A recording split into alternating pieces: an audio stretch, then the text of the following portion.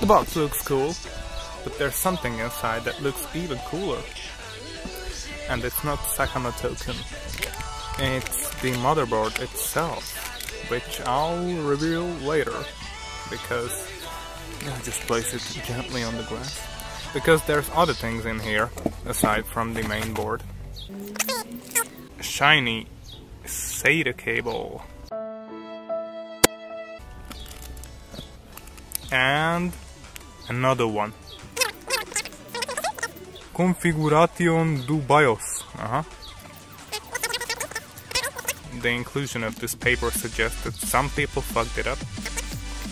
You can hang it on your knob if you want to let everyone in the house or your apartment know that you're a freaking geek.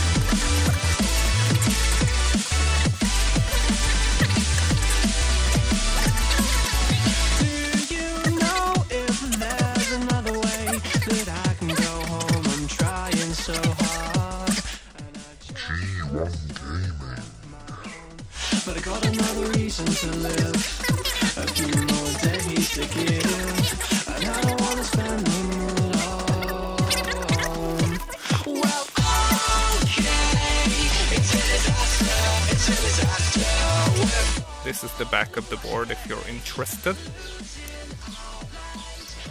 And this is the front.